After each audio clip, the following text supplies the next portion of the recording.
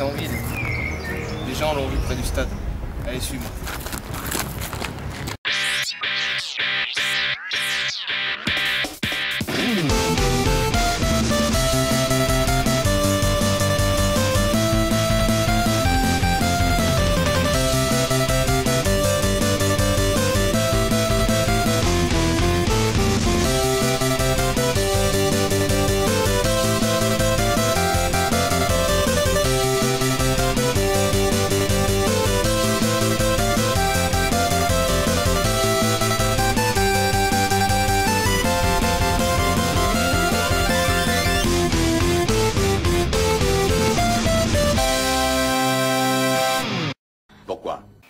Tu sais que tu as 15 minutes pour rentrer à Figeac, sinon Disney te rachète ta chaîne.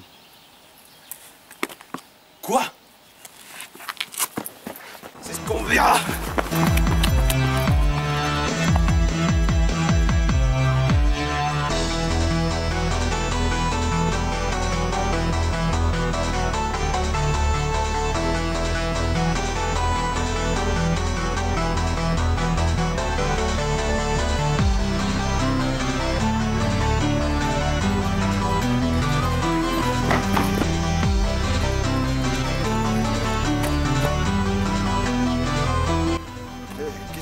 Avec cette combinaison, moi?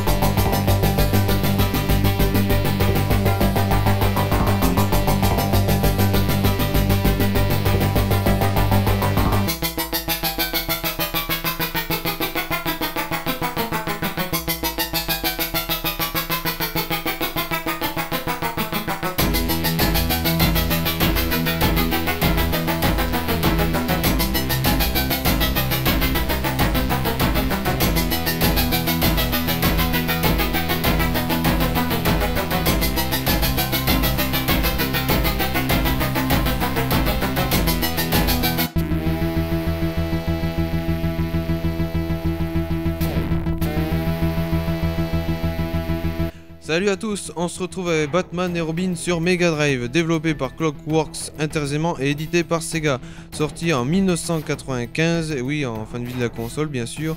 En commençant le jeu, vous avez déjà une sensation de bien-être, parce que déjà vous voyez que le jeu est très fortement inspiré de l'anime Batman et Robin de 1990. C'est une énorme bonne nouvelle. Dès que le jeu commence, il faut avancer et buter tout ce qui bouge. Si vous le pouvez, essayez de ne pas vous arrêter, car les ennemis respawnent à l'infini, surtout qu'ils arrivent à gauche, à droite, en haut, en bas, sur les côtés, dans les maisons, enfin bref partout quoi. Dans le premier niveau, si vous n'êtes pas suffisamment entraîné, vous allez crever au moins une fois pour être gentil. hein. Parce que vraiment, si vous êtes une merde, vous allez crever 50 fois. Bon, vous avez quand même l'énergie représentée en forme de barre qui entoure le chiffre de la vie, en haut à gauche. En cassant des objets, vous pouvez récolter de l'énergie sous forme de cœur. Oh, comme c'est mignon Enfin, mignon, tu parles, oui, se casse sous votre nez. On va bénir le bon Dieu, pauvre con. Continuez de me liker comme ça, les fans. Et je vous ouvrirai les portes de ma plus belle récompense. Oh, you touch my tra-la-la. Excusez-moi, je galère un peu. Gardez vos précieuses vies et crédits le plus longtemps possible, car croyez-moi, ou pas, le jeu est très difficile. Et encore, le premier niveau est facile hein, comparé aux autres qui arrivent après. C'est d'une jouissance extrême tellement on s'en prend plein la gueule. Pas de sous-entendu s'il vous plaît, nous sommes dans Batman hein. Un des stages les plus chiants et le plus long, j'ai nommé le Delta Plane. Si vous n'avez pas la bonne arme dès le départ, n'espérez pas sortir vivant de ce stage. Pour changer d'arme, il vous faut trouver un objet rond avec le logo Batman. S'il est de couleur vert, l'arme est un espèce de fouet avec des boules. Le bleu c'est des shurikens et le rouge des batarangs. Plus vous allez en récolter, plus votre arme gagnera en puissance. Mais si vous perdez une vie, vous allez perdre en puissance. Autant dire que la partie n'est pas gagnée d'avance. hein. Les trois atouts que vous devez avoir, c'est surtout la concentration, la patience, et oui, hein, il faut pas avoir peur de recommencer tout le stage si vous n'avez pas de vie, hein, mais c'est valable uniquement si vous êtes seul, pas à deux. Et la rapidité, puisqu'il faut être constamment en mouvement.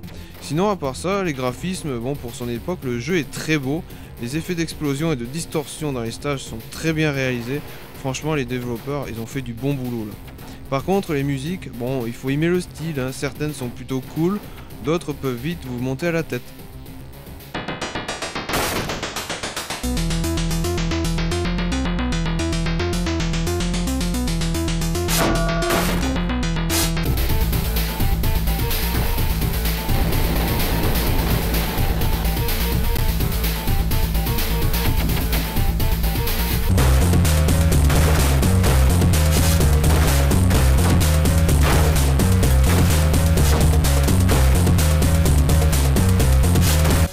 Pas précisé quelque chose, c'est que dans le jeu on réunit les quatre grands ennemis de Batman, c'est-à-dire le Joker, Double Face, le Chapelier Fou. Bon, c'est pas le plus connu, mais bon, c'est pas le plus exploité dans Batman aussi. Mais bon, là ils l'ont mis, c'est plutôt une bonne chose. Et le grand gagnant, You Are the Winner, c'est le Mr. Freeze. Par contre, il y a une chose que je ne comprends pas, c'est quand vous avez fini le monde du Chapelier Fou, qui est quand même un monde très très dur. Vous passez à Mr. Freeze. Ok, ça, y a pas de problème là-dessus, vous êtes d'accord. Et ben, euh, vous faites le premier stage, et là c'est trop facile. Qu'est-ce qu'ils ont eu les développeurs pour, faire un niveau trop facile? Parce que là, euh, ils se sont dit peut-être, tiens, on va minimiser, parce qu'on a fait une grosse connerie. Le Chapelier Fou, c'était vraiment trop dur. Mais là, ça fait une énorme différence, quoi. On passe de trop dur à trop facile d'un coup. Allez, une bonne conclusion pour finir. Un très bon jeu inspiré de la série animée. Le personnage réagit correctement quand vous appuyez sur une touche. Les animations sont fluides. Le jeu est certes un peu répétitif, mais je vous conseille vivement d'y jouer à deux pour plus de facilité et pour le fun aussi, puisque c'est toujours amusant de voir son pote se faire dégommer à votre place. Surtout ne tombez pas sur un teubé, sinon vous n'allez pas avancer. Et puis je pense que votre pote, euh, il aura de sérieux bleus, hein. Et puis peut-être une hémorragie interne aussi, hein, qui restera gravée dans les annales.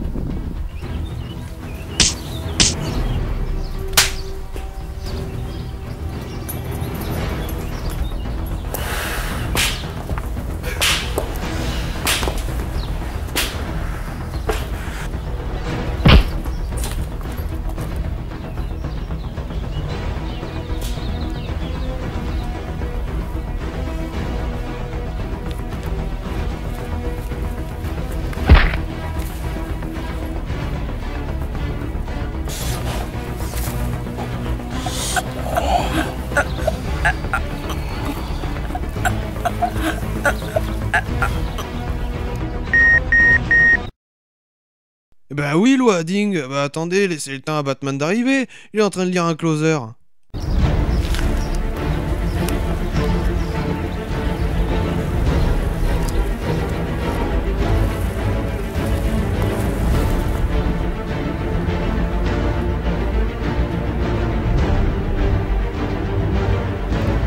Je suis Batman.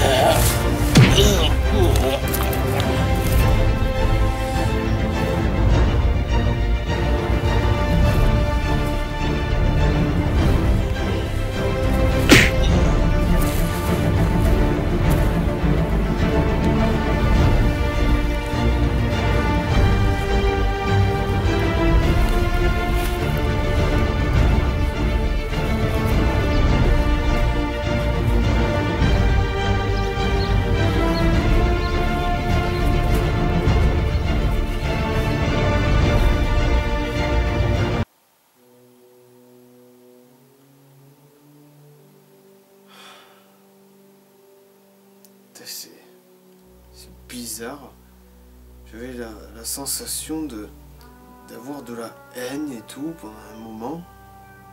D'être surpuissant. Enfin, j'avais quand même les yeux qui piquaient, hein, mais... euh, Oh, c'était peut-être qu'un effet après tout. Mais d'ailleurs, qu'est-ce que je fous ici, moi?